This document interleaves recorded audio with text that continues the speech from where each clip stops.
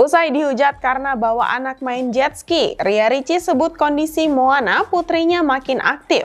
Gimana info selengkapnya? Saksikan di Fem and Frame.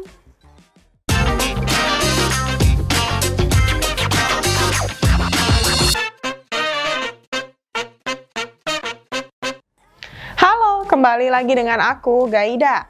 Setelah dihujat karena ajak Moana main jet ski di pantai, Ria Ricci sebut putrinya justru semakin aktif.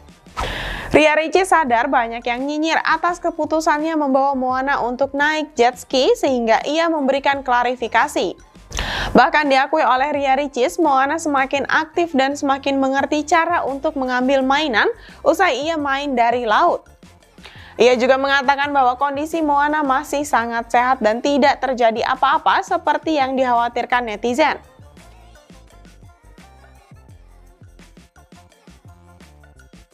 Dalam unggahan Instagram Stories tersebut, ia menunjukkan chat dari dokter spesialis anak yang terkesan dengan perkembangan Moana. Mengutip Tribunnews.com, Ria Ricis dan Teku Rian dihujat warganet setelah mereka mengajak Moana yang masih lima bulan naik jet ski di laut. Warganet menilai bahwa Ria Ricis mementingkan konten dan AdSense dibanding keselamatan dari putrinya sendiri.